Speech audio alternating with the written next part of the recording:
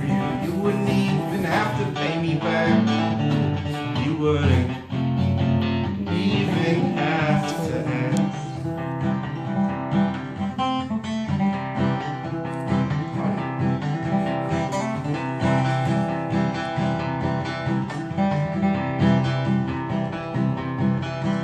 And I would have done the same to the man that broke your pretty arm at the shitty bar with bands play. Mm-hmm. Chemo band? Emo. Emo. Right half and I laughed as I walked away.